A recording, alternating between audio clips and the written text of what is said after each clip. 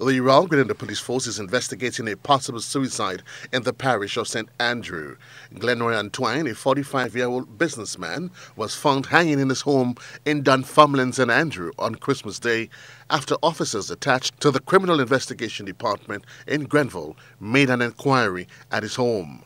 According to police reports, Mr. Antoine lived by himself and was last seen by a family member around 7:30 p.m. on December 23rd. The alarm was raised on Christmas Day when the relative tried calling out to Antoine and got no response. The family member said he and other relatives went to Mr. Antoine's house about 7:30 p.m. and observed that the door was locked. As a result, officers attached to the fire department used a bolt cutter to access the house, and on entering the house, the body of Glenroy Antoine was observed hanging from the roof of his bedroom. His body was examined by a medical doctor who pronounced him dead. Police investigation continue. Joseph Cador, GBN News.